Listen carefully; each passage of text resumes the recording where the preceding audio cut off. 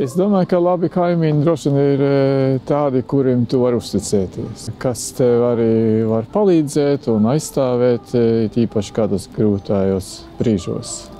Cilvēkiem pasaulē, kas dzīvo apmēram tajā līdzīgos platuma grādos, nav tik lielas atšķirības. E, ir individuālas atšķirības, bet ir vēsturiski apstākļi, kas nedaudz nu, teiksim, veicināja vienu vai otru faktoru. Mēs esam pēc dabas pieraduši būt ārā un darboties. Tā kā man šķiet, tas mums ir nepieciešams, lai justos labi.